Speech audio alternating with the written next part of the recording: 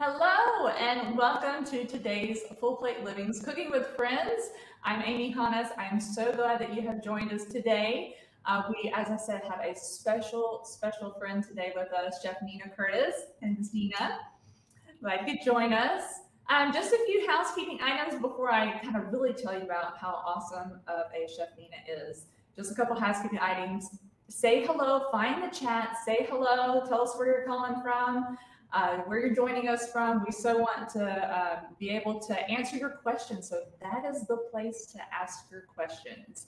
Anytime during it, we can kind of pop on and off. We will have a select time at the very end for Q&A. So um, don't think it's going to get missed. We'll make sure that we answer your questions. Um, another thing, this is the internet. It is the World Wide Web. It is technology. So um, if we have any issues on either side, just give us a moment. We'll try to reconnect and get back on, as well as if you have issues, um, you know, try to reconnect, refresh your screen. We have found that the Chrome browser works really well for us, um, but you might try a different browser that you have if you're having issues with visual or audio, okay? Um, sometimes it can kind of depend on a variety of things of how you're connected or if you're work watching and what they allow. So um, just know if there are any issues, just try to reconnect. Yes, we will have a recording of this to share afterwards if you just have a massive amount of issues in connecting. Uh, so we will have um, the recording as well as the great recipes that Nina is sharing with us today. Um, so, um, man, let's see, what else we got housekeeping? I think that's it. So make sure you find the chat, say where you're at, say where you're from.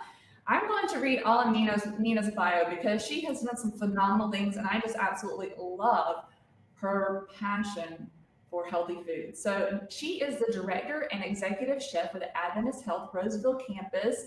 And I want to make sure I get this cafe name down right. Is it Vitalize? Vitalize. Vitalize Cafe and Culinary Arts Department. At the helm of this dynamic culinary division, Chef Curtis continues to be recognized as a leader and trailblazer in the plant-based culinary movement, which is awesome. That's what our organization is all about. Um, as a former executive chef at the ranch at Live Oak, Malibu, uh, the acclaimed seven-day fitness and wellness boot camp, and the chef, the chief, sorry, nutrition officer for the ranch uh, daily a meal subscription service in Southern California. Nina keeps her finger on the pulse of the wellness and plant-based lifestyle trends. Nina has been an avid proponent of a plant based lifestyle for the past 20 years. Nina's food and beverage background over the years includes working with the Marriott Group, Hilton Hotels, Baxter's, Manhattan Beach, the El Caballo, Oakland, Pure Food and Wine in New York, and the Springs Restaurant and Wine Bar in Los Angeles. So you can see why I'm so excited to share all this with you today. But hold on, hold on, wait because she presents lectures and demonstrations on health, nutrition, and whole foods all around the world. She has developed wellness training programs, set up kitchen operation, and has worked closely in conjunction with culinary master gardeners to develop seasonal and gorgeous garden to table recipes that are essential uh, to having delicious plant strong culinary experiences. Uh, she has an MBA graduate of a, the Pepperdine University um, Chef Curtis was also trained at Living Light Culinary Institute, Trinity School of Natural Health, and Natural Gourmet Culinary Institute, and she holds a plant-based nutrition certificate from the T. Campbell Center for Nutritional Studies of Cornell. So you can just see how fabulous of a person she is, and we feel so blessed that she has joined us today to actually present an award-winning recipe. Isn't that correct? It is. It is. I entered the um, haystack with the Healthcare Without Harm organization. They're a global organization and they have a chef contest every year where they focus on hospital healthcare food service to get chefs to put more plants, more fiber on the plate. So it wasn't necessarily an all vegan contest, but it was a stretch to put more plants on the plate. So I was like, I've got this. we're gonna win because you don't enter a race not to win. But um, we we submitted it and uh, we won.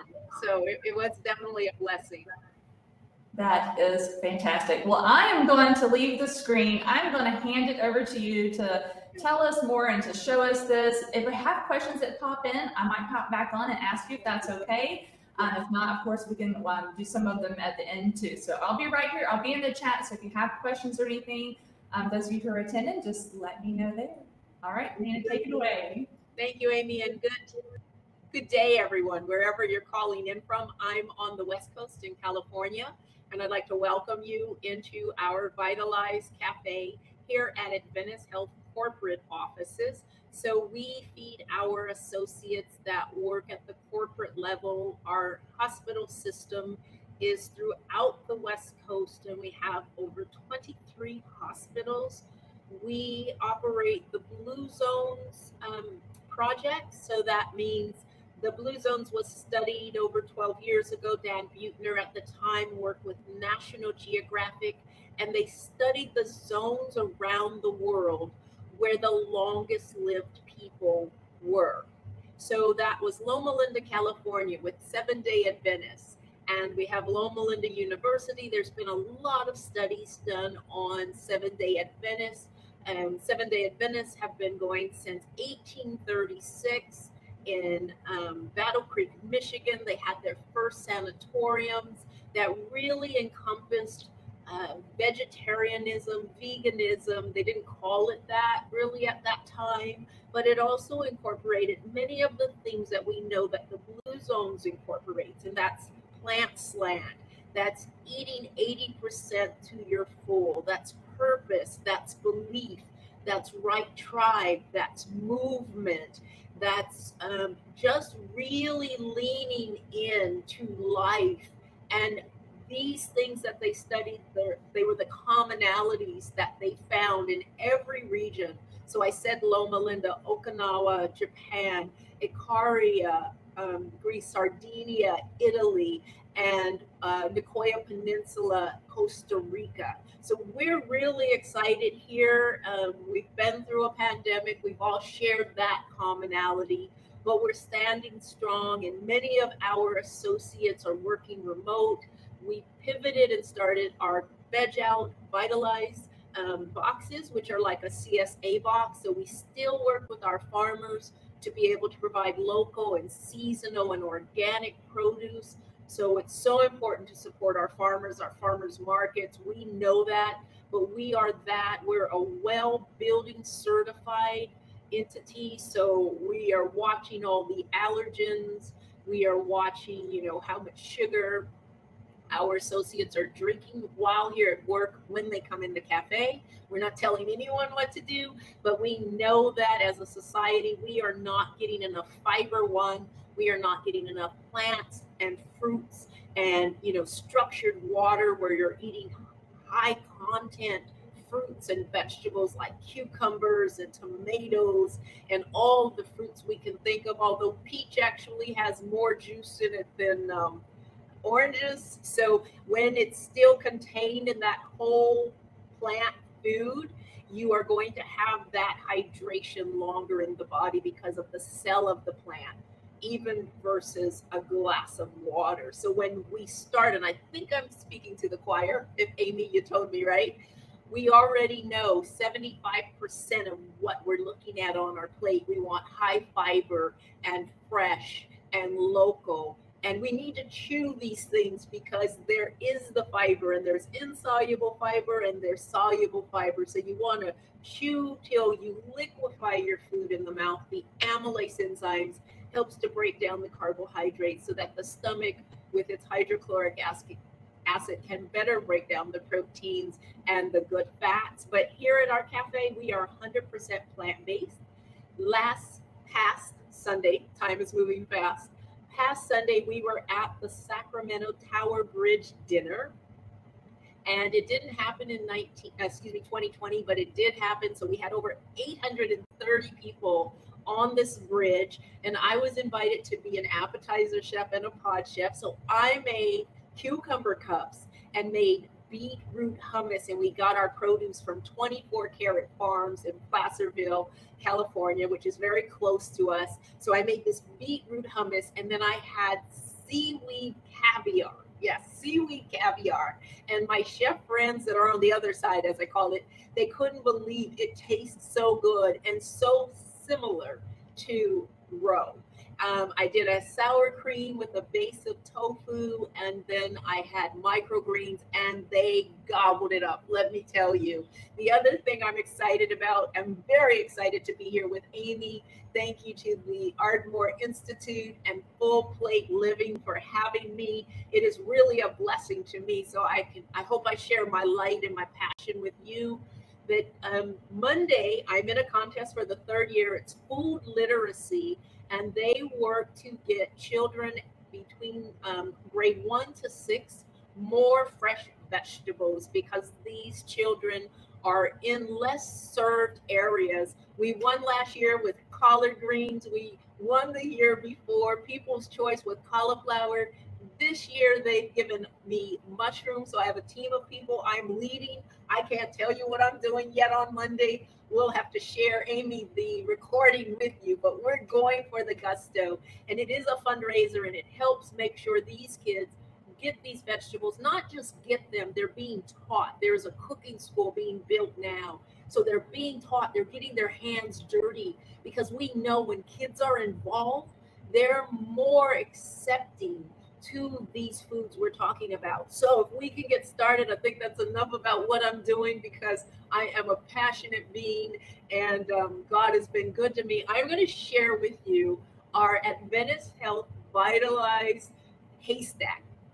And this is a heritage dish, as I call it, because Seventh day Adventists know this haystack well. It's a recipe that may be served after church or during a potluck. So it's really one of those comfort foods that you know you just kind of put out this buffet of what everybody likes. It's on a base of fritos or tortilla chips and the sea is parted let me tell you. By those that want their fritos or those that want their tortilla chips. When i entered it in the contest healthcare without harm i healthed it up a little bit so i made a base of black rice. So i used black rice instead of the chips and i used the chips as the garnish I love black rice. Maybe you want to put it on brown rice, long grain, or quinoa, or farro. I mean, there's so many things that you can set your base with, but I love black rice because one, the fiber, one, it's a protein rich, more protein concentrated than maybe your brown or white rice.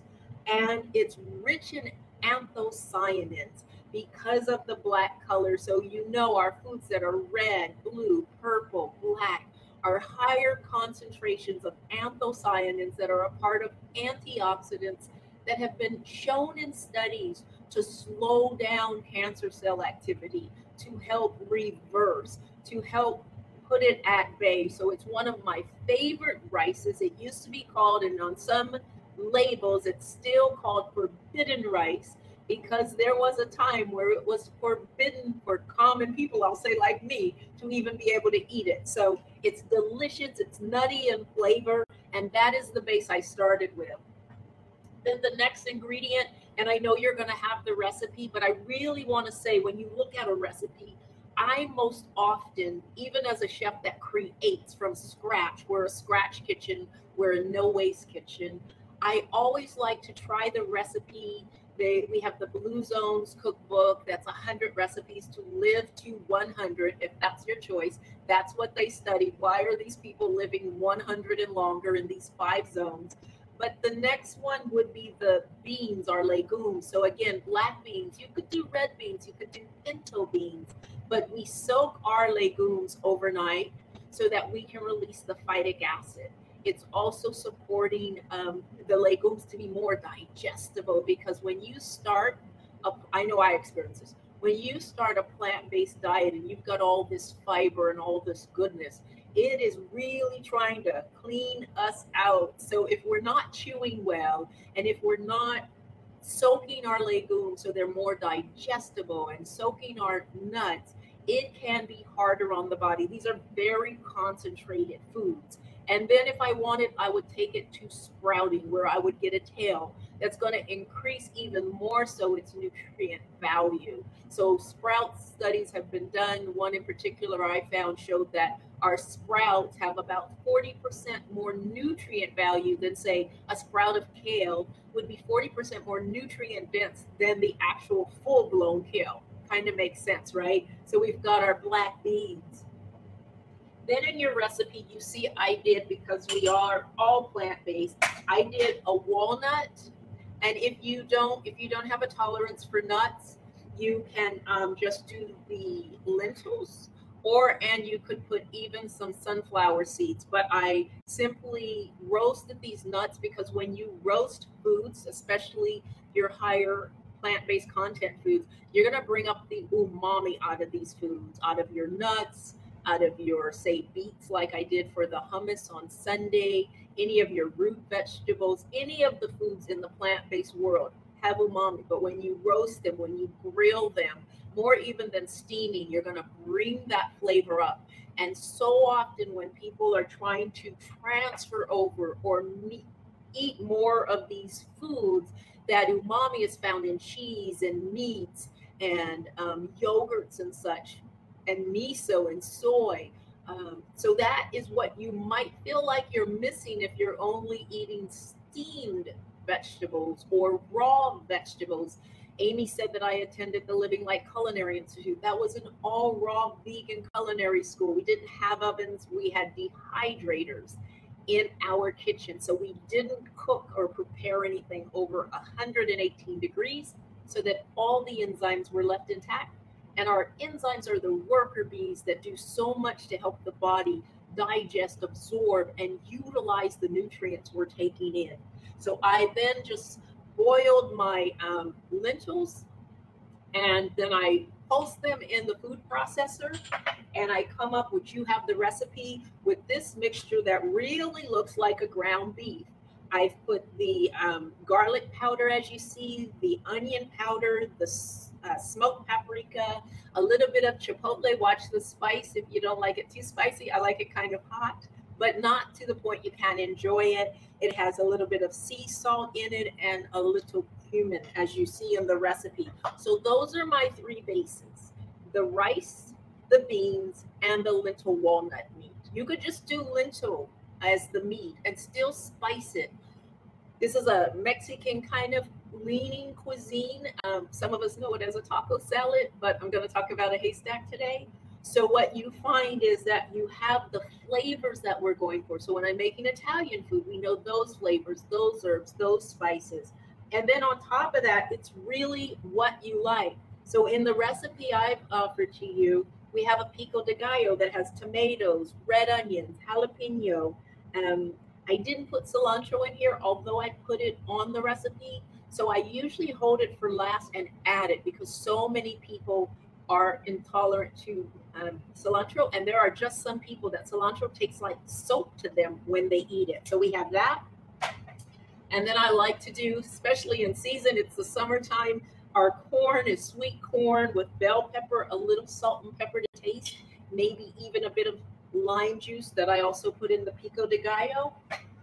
We have our um, tortilla. These are our Frito chips. They're organic, but instead of using this as the base, which we would serve in the cafe, then with the beans, and then with the lentil meat. I chose to use it as a garnish. So now people, since I entered the contest, can choose if they want the black rice or the chips or them sprinkled on the side, especially if you're watching the calorie count on your plate. So what we're going to do, I also gave you a recipe for our Chipotle aioli. That's in a base of Follow Your Heart. I have no affiliation with the company. I just like their product as a mayonnaise for plant based. And then we take dry chipotles, reconstitute them, blend them. If you want to lessen the spice, whether it's with your pico de gallo, if you're using jalapenos or your chipotle, take the seeds out. Take the seeds out, and that will curb some of the spice. We make our own jalapenos with um, pickle them with carrots, I use again no affiliation to this company. I just like it because it's not a nut base, and I'm watching the nuts in our cafe. It's a oil, coconut oil based Violife, and they have a cheddar, a jack, and then this mixture.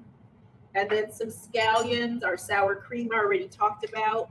Again, a tofu base versus the nuts, but I can make a cashew um, sour cream. So I'm going to build our plate if everybody's hungry. Now the challenge is me trying to squeeze this plate through the screen here so you can have lunch because it's about that time. Well, let's start building. So I'm going to start with my rice and I'm just going to take a scoop. So this is about a half cup of black rice. And I like to, even when you're making food at home, we eat with our eyes first. So plate it. That's very important for us in the restaurants or the cafe. Plate it as if you were at a restaurant and you wanted to serve yourself a dish that your eyes were going to have you start salivating first, and then you want to eat it even more. I've got my black beans about the same amount, depends on the calories you're taking in, your size, how athletic you are. Um, you decide that. And then we're going to add our meat, lentil walnut meat mixture. Again, this is wonderful also on a taco, just lettuce and not the beans or rice at a different time. I like to repurpose things in the cafe with regards to, oh, how many things if we make up this batch, because we're making up, you know, larger batches in the kitchen than what I would make at home for myself as a single person. So I'm always utilizing just for efficiency to be a no waste kitchen, always figuring out how we recycle, how we repurpose. Not that we take it after, you know, it's fresh, but we can put it on different things that really work with flavor balancing. And I'm going to put that right on top. And then I'm going to add, and if you were in the Vitalized Cafe, we would ask you the toppings that you want. So we're going to put a little cheese on this. And when you're getting it, it's pretty piping hot, so the cheese will start to melt. Some people tell us just where they want the cheese between the rice and beans over the lentil meat, and we work to deliver. And then we're going to take our romaine lettuce and go for it here because this is water, right? And all that structured water we've been talking about. And we're going to build that up because while it's nutritious, you can have a lot of this. And then from there, I think I'll go with my pico de gallo. It's so easy to have these things already prepared in your kitchen. I don't know about you, but I love pico de gallo and tortilla chips or and tossed on my salad. I love in the summertime, I'm going to have my sweet corn because it's like candy with a little bit of bell pepper, whether you use red or yellow to get all the phytonutrients, your vitamins, your minerals here. We have a full plate, a rainbow dish, so we don't have to break up how much protein we're getting.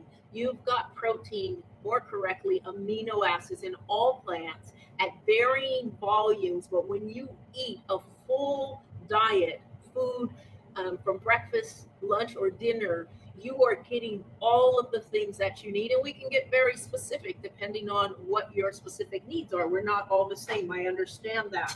Then I'm going to take a little bit of my sour cream and just dollop that on. I like it hot, so I'm really going to go for my chipotle aioli.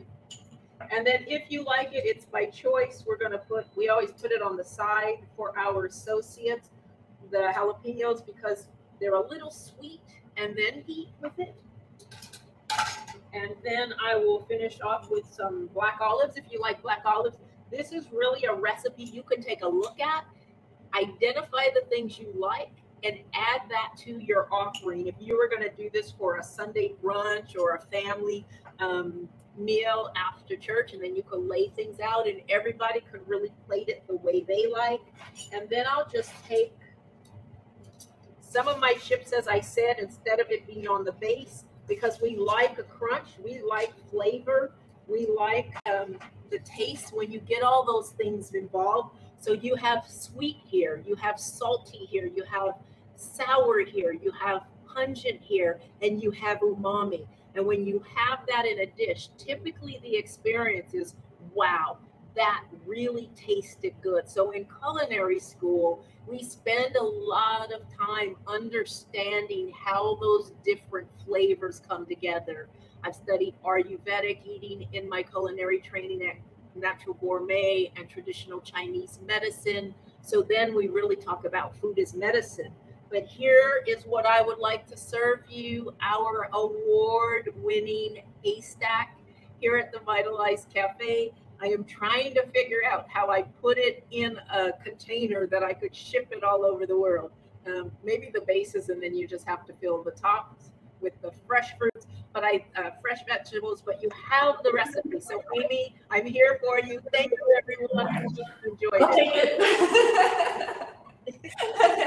Man, technology was that good. Oh my goodness. Yes, that looks absolutely amazing. I love all the mixtures of different things and so many things just really ring true to um, especially if people aren't used to cooking you know it's kind of i love how recipes are guides they're just a guide to to if you don't like something like i'm not an olive lover but my husband is so it's having it there for him but i usually omit them for myself but i might add you know carrots shredded carrots to it so it's kind of figuring all those things out what do you like best add more of that if you don't like something omit it don't just start the whole recipe out just uh modify the And I always tell people when they say, "Well, how can I transition?" I'm like, "Give me a list of the foods you like." Yes. I'll deconstruct that, whether it's lasagna or your mother or your grandmother, even more their favorite dish. And once you see you can do it, and I did that when I first joined Adventist Health. One of my colleagues said, "Oh, my mother used to make us these treats." but it had butter and all kind of things. And she just rattled it off to me. And it was a Friday, but I remembered the recipes. I went straight to Sprouts here. I got all the ingredients that would fit into the plant based spectrum. I made it, I took it to work for her, and she immediately took a picture of it texted it to her sister and said, "Don't tell mom this actually tastes better." mom that. Don't ever tell mom that. No, no. It was so nice to do that. It's just the way I work, right? I'm a chef. Right.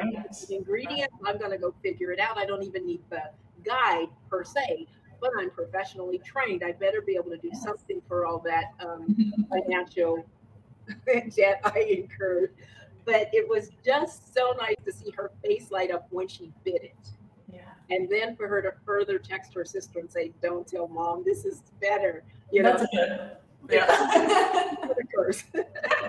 and we all have those recipes or those memories of different foods um, that are like that. And to me, I'm always like, how can I up the health a little bit? Kind of like you're talking earlier, and how can we just up the health on some of these that may not be as healthy, but how can we how can we do that, especially fiber foods like you've done here?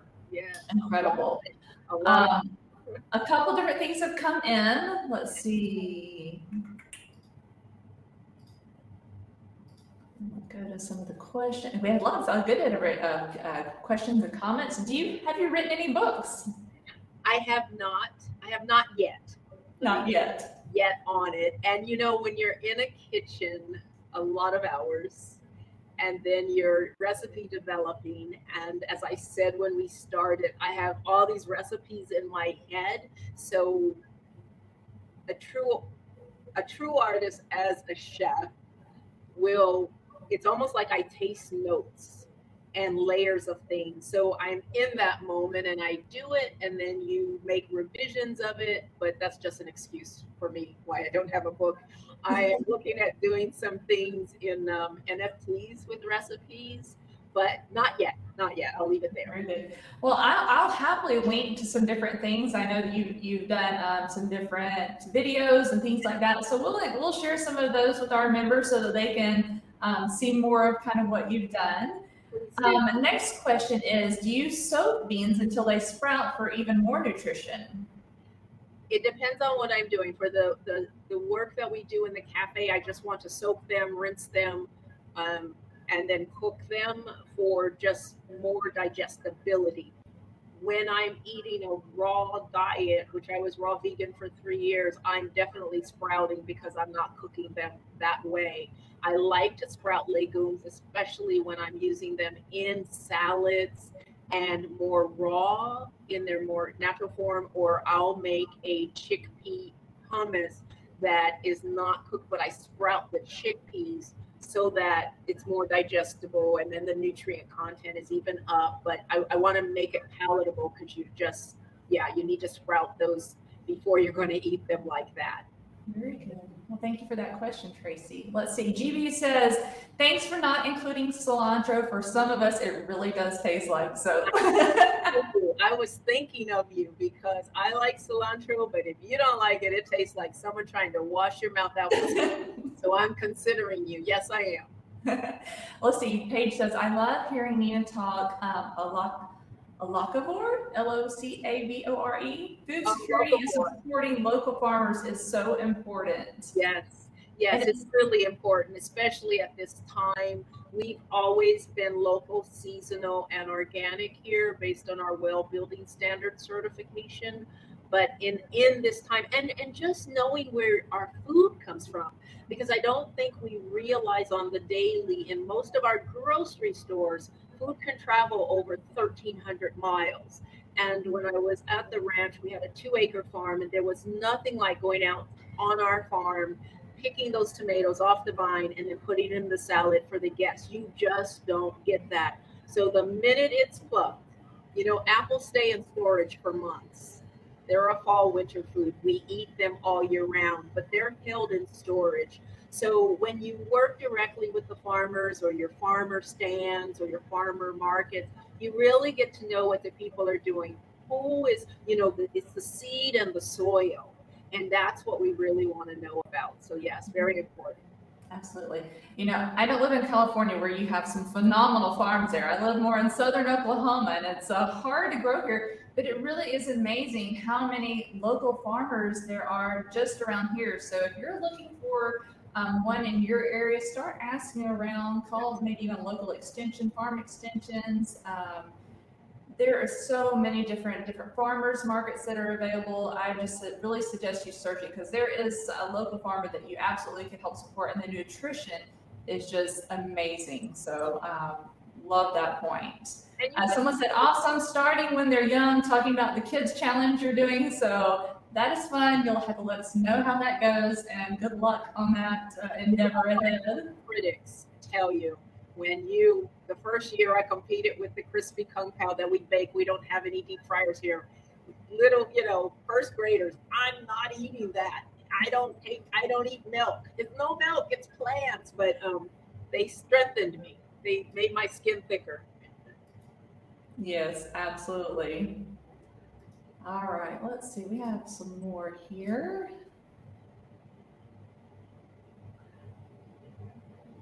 I wanted to. Just, I want. I'm wanting to try the meat substitute. This is second time I've seen something like this. I think this is quite different than a meat substitute too, just because it is the lentils and walnuts being um, kind of the the whole food using. Where a lot of times in meat substitutes, it's um, it's quite more lengthy process and, or more of a processed food, really. Yeah, for sure. I um, we do a black bean black rice with jackfruit burger. That's one of our top menu items. So we really work um, scratch. There is a company that I like their sausage because I just don't want to and don't have the labor force to make sausage, which I could also plant based but there is a difference in those processed foods on the market. You should really be able to understand the ingredients when you read them. And so, if it helps someone to transition, okay, a little bit, like I would also advocate, you know, uh, blue zones, maybe the area they only ate meat five times a month. So, I would still encourage people with the art, um, the meat substitutes to eat less of it and still get that 75% fiber and whole plants on the plate and not lean on that. The same with anything. I mean, you can be a junk food vegan right. or a junk food plant based eating. So we're really here advocating for whole plant foods right. from scratch and then use those other things as condiments and less to accent as you need. Yeah. That's so true. I think having that mind shift change, and it takes time. Um, I grew up, it was what are you having for dinner? And it was the meat. Yeah. Granted, we had a lot of veggies around it too, but what you were having kind of was the main thing. So it's a little bit different thinking about planning a meal and, and having having that as a condiment. I love I love that saying. But Amy, you also know that after a couple of weeks of eating whole plant based, our our taste comes back to life because the sugars and salts that are hidden in so much of the processed foods really um, numb our taste buds. So after a while of eating the food, let's say a, a full month, you really start to appreciate the real taste of a tomato, the real taste of leafy greens, even the taste and the umami of beans and legumes. So give yourself that chance. Don't worry if you fall off the wagon, as some say, just get back up, as my grandma would say. It's not a race, you're not on the clock. But I do love saying I work to feed. My passion is feeding people food to live for, not to die for. So true. So true. Susan says, Thank you. I love the explanation of the benefits.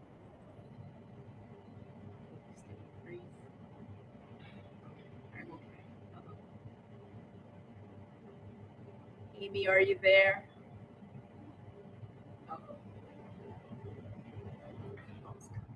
So it looks like Amy is reconnecting. Okay. Hi, Paul. How are you? I have lunch for you.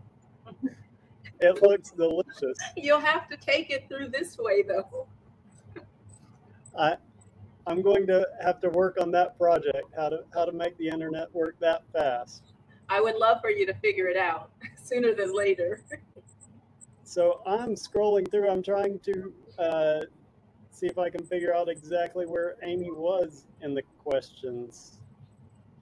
Um, Talking about um, I mean, everything was about, homegrown tomatoes. we Um, talked about uh, meat substitutes, and we were I was talking about flavor and letting your taste buds come back to life. Yeah, that looks like. I love the. It might be Amy back right now. There we are. I'd almost found where you were, Amy. Sorry, I got kicked off. Our world, the way of our world. I'm glad it didn't kick me off, but thank you for taking that one for the team, Amy. Well, there she she's going off again. I'm going to ask you uh, uh, this next. you got me now? Can you see me and hear me? Yes. Excellent. Thanks for hopping on, Paul. This is exactly why I have a backup plan, so I appreciate doing that. All right. Um, let's see. Tracy says, "Do you have a great re- you have any great resources that hold a candle to full plate living to share with us?" Well, I don't know about that. I think there's some phenomenal resources out there that all are kind of talking the same message. But do you have a favorite? You know, there's so many out there, and Amy, I'd love to share some with you, and then you can make that available to the group if you'd like. Because when you ask me that question, I get like a roadblock. All my favorites just land right here, and I can't even get the word out. But there's some good books that I always like to ask what people like to eat, because so many of the books out today are by cuisine, or are you trying to learn techniques? or are you where are you at in the spectrum in your journey? So i really like to instead of putting out a book that fits all i really like to better understand. So i will take and offer up to you like five books at different levels with some different cuisines so people have more options i'm an option person i like Sure. options there's more ways than one to cook a delicious dish That's so true. That's so true. I actually would love to share that with everyone. It would be Um, I think one you mentioned was just the Blue Zones cookbook. I think they do a great job of sharing, especially a variety of different culture uh, Yeah. recipes. So if you're feeling a little bit adventurous, but yet some of the items are just so simple, um, Yeah. and they really do focus on adding a lot of um, high fiber foods. So it's um, a great. And I know a lot of times. Um, even some of my favorite um, cookbooks are different vegan or vegetarian ones because most of the time, as you know, as Nina said, it could still be a junk food vegan diet or, or a vegetarian diet. I'm not vegan or vegetarian myself, but I eat a predominant, you know, plant-based diet and have found some great staple recipes that um, that I go to. So thank you for sharing those. I will share those with everyone else. and I don't always um, just purchase or look at vegan vegetarian books, often not, because I'm really about deconstructing things. So I have a lot of chef colleagues that have books out. I'll one support them because I purchased them. And then for everything on the plate that's not plant, I deconstruct it and then I share it with them. And they're like, don't write a cookbook. And I'm like, well, I'll do at some point. But so the library is very inclusive and diverse because I'm looking for ideas and then I bring in my own creative spin on it. That's great. That is very good. Um, let's see. Evelyn says, um, if you use canned beans, do you soak them? No, the canned beans have been cooked. The canned beans have already been cooked. But what I do watch for is low sodium or no sodium. And when I, if and when, and I have used them, I rinse them. I rinse them. Usually, canned legumes are not soaked before they're cooked. You know, they're talking. We're working in massive uh, factories where these things are being produced, but I will rinse them. When you talk about, say, chickpeas, well, all legumes have aquafaba, bean water, but aquafaba has become the trend in the past couple of years, and chickpea is um, probably the one you hear about most because it's more neutral in flavor and color. Where I've got aquafaba with black beans whether you cook them yourselves or you get them from a can, not as readily from frozen food, right? Yeah.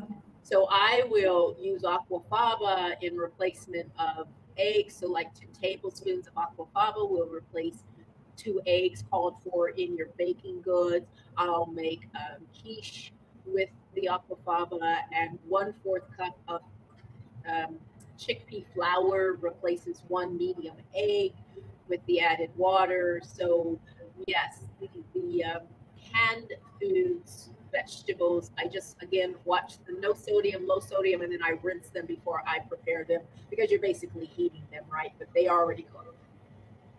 Yeah, absolutely. All right, we have some more questions. Let's see. Is everyone hungry? Did it whet your appetite? Or you can try the recipe. I'd really love to know the feedback if you would share it with Amy so we can talk about it. And you know, it never ends when we finish here. It only begins because all of a sudden we have these questions that we didn't think of because you're trying to listen to me. So but I should Amy earlier, if there are any questions, if you would just send them to her, she'll send them to me and I will get an answer back because it never ends once we stretch an idea in the mind, the mind never goes back to its original shape.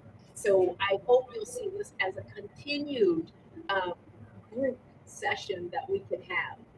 Love that. Love that. And if anyone wants to um, email us, email me, um, email me Amy, A-M-Y, at fullplateliving.org. You can always um, send emails or respond to any of the emails that um, we send out. Most of them are sent out by me, so you can reply to any of them, and I'll get those as well. Would love any questions that come afterwards. Um, do have some more questions here. Do you have a gluten-free bread recipe? I do. All of our baked goods are gluten-free here in the cafe and nut-free and vegan. So again, Amy, I'll send you a basic bread. I worked in a bakery, um, Erin McKenna, and all of our goods, it was in LA on Larchmont, and she was in New York also because she was celiac, um, mm-hmm. so intolerant to gluten. So I was there for a while, and we made donuts and muffins and rye bread, and and also I, I could share a recipe like that with you. That was great. Uh, do you work with microgreens?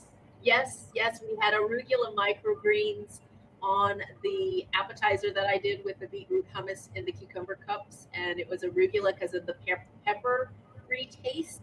But when I was at the ranch, I had a whole greenhouse. So we seeded our things before they went into the ground, and we had beautiful microgreens. I love microgreens. If you can grow them in your kitchen with your herbs, that's another way just to add to what you're doing with your local farmers. But microgreens, I, I love them. Just be mindful, you know, they, they go fast. So smell them, you'll know. Um, but also know the source you're getting them from. Yeah. And I would recommend they be organic at all times. Yeah. Someone says I may have missed it earlier, but where is your restaurant? I live in Southern California and would love to come visit someday. I'm in Northern California, Sacramento area. We're housed in Adventist Health corporate offices, the Vitaliz Cafe, and currently we've only been since our inception of opening open to our associates. We have about on a you know full on day, not COVID induced. We have 1,400 associates in the building. We have a 5,000 square foot cafe, but we are once things settle down, really looking at opening to the public or at least being able to serve you at curbside or delivery. So thank you for that. Very good. Um, someone says, and there's been several, someone I think even said like a, a recipe book on substitutes. yeah. Someone says, my daughter, uh, my daughter-in-law can't eat alliums. And so many vegan vegetarian recipes rely on those so much. Are there any substitutes you have found? So she can't eat um, chives, any of the alliums. Is that what I heard you say? Yes. Yeah. Hmm. There are there are different things. I wouldn't say per se substitutes, and I always want to know what it is she's putting them on or in so that I can recommend. If you'd send an email and give some examples, then I make sure what I'm saying out there will fit the profile sure. of the dish that she's making. Very so good. the answer is yes, but we want to be more specific. Yeah, no, understand that. Uh, let's see, someone says, um, I had made homemade refried beans and brown rice right uh, for lunch right before this, so I'm kind of like I was here for the food just the tiniest bit. That's great. That's right. Uh, what was the ingredient after the beans? After the beans, I did the lentil walnut meat. The meat substitute. That was just a mixture of meat. You don't have to soak lentils. Um, they're just already, unless I want to sprout them, right? There's a difference. And then when I cook the lentils, I just cook them not like I would be making a dal. I don't want them soft. I want them to what we call chew. So when you bite down, there's still a texture. It's still like you have to bite down. We call that chew. So I want it that way because I want that texture of, for the moment, that ground beef stuff we talk about. And then walnuts, I roasted them to even bring out more of the umami flavor and so those were just the whole walnuts that are toasted, you can maybe say. And then I put both separately in a food processor. So I did the walnuts and just pulsed it. I didn't put it on go because you'll get a pate. That's for another recipe. So I just pulsed till I got that texture and like the size of your ground beef. I did the same for the lentils. Then I mixed those together and then you see the spices that I put in that's in the recipe, including the smoked paprika, cumin, onion powder, garlic powder, um, and I think the chipotle. Yeah. And a little bit of rice bran oil. You see that on your recipe. And the rice bran oil I like to cook with in the cafe. I'm not a fan of canola oil, but that's just my research that I've done. I don't want to cook with expeller pressed olive oil. That's a finishing oil because it doesn't have a high cooking heat but rice bran oil does, and it's a neutral flavor, not like coconut that has a high heat, but you're going to taste the coconut. And it also is high in tocopherols, vitamin E. Very good. All right, Nina, I think that's looks like most of the questions. Oh, someone had one about jalapeno peppers and the pico de gallo. Um, how did you use them? Did you have them? I think um, if you do, you, you could use absolutely use them in the pico de gallo, and you can make them as hot or as mild depending on if you DCD vein. But you also had some pickled ones. I think was the other. So I minced the jalapeno in the pico de gallo. I took out the seeds just for what I know our associates like. Right, and me, I don't take my seeds out at home. And then for our pico de um, our jalapeno and our carrots that we we grind here, I just slice them and then we um, grind them in our pickling seasons with our pickling seasons, water and raw apple cider vinegar. And then when we have a case of jalapenos, oftentimes, so we're uh, in a no waste kitchen, we'll take those, we'll cut them in half, we'll remove the seeds, we'll dehydrate them, pulling out all the moisture, so we're preserving them. And then we'll take a portion of that and we'll pulverize it so we have a jalapeno powder. Very good. Amazing. That's all right. All right. See, any other questions? This plate No, please take a look at your handout. It has all of the ingredients that were used in the haystack, the recipes to make all of the different um, layers of this. Um, so please make sure you got the download. If you did, if you can't seem to get the download very well, I will be sharing it in your member, member email. Um, we will have it on the page with the recording so that you can download it and share it. And Nina, thank you so very much for sharing your passion, your love of these fiber foods along with us. It's so nice to um, find and meet and share that passion uh, with the world. And we're so glad we could be able to share that with our members today. So thank you so much for being here today. I hope you all have a fantastic day. Thank you, Amy and friends. I really enjoyed it. And I just say eat food to live for, not to die for. So very true. We'll see you later. Take care. Bye.